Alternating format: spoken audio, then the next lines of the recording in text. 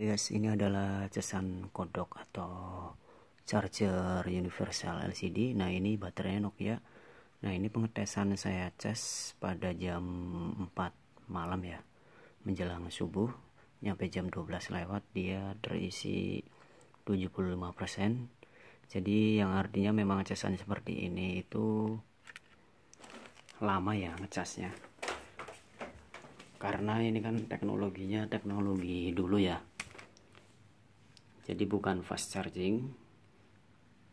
Jadi ya nyampe 4 jam 5 jam itu wajar ya. Ada yang teman-teman lain ada yang harian ngecas HP casan baterai kayak gini ya.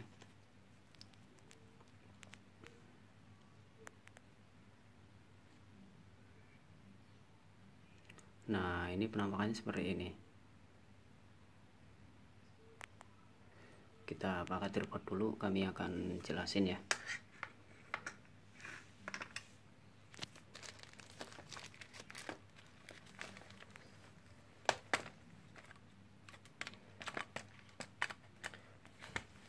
Untuk cara memasangnya itu bebas ya teman-teman ya. Jadi artinya teman-teman itu mau posisi baterainya seperti ini ataupun seperti ini jadi bebas. Ya. Nah misalkan teman-teman nempelinnya seperti ini dia tetap menyala. Dia akan muncul kapasitas baterainya 75% ya. Nah pas malam saya ngecas itu posisinya seperti ini kebalik tapi dia tetap mengisi ya.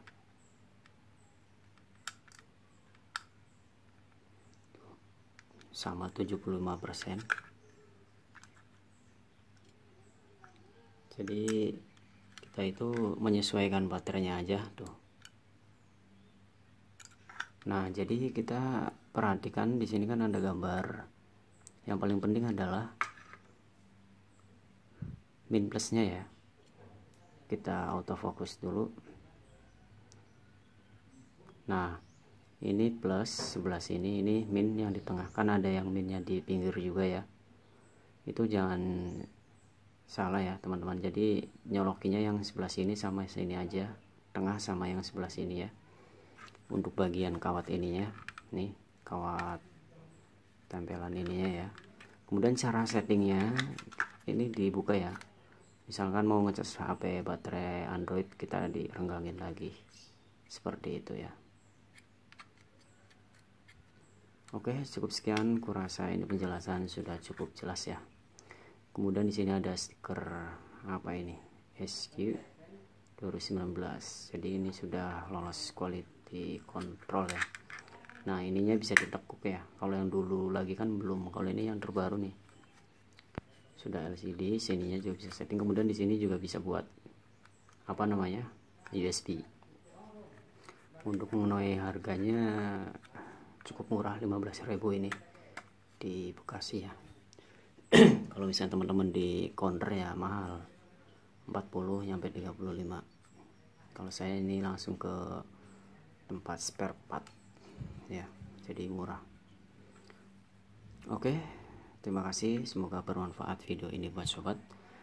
Jangan lupa bantu like dan klik subscribe. Ikuti channel ini gratis. Jika ada pertanyaan kerusakan atau pertanyaan tentang season ini silahkan komentar di bawah kemudian jika bermanfaat silahkan share ke teman-teman ya channel ini.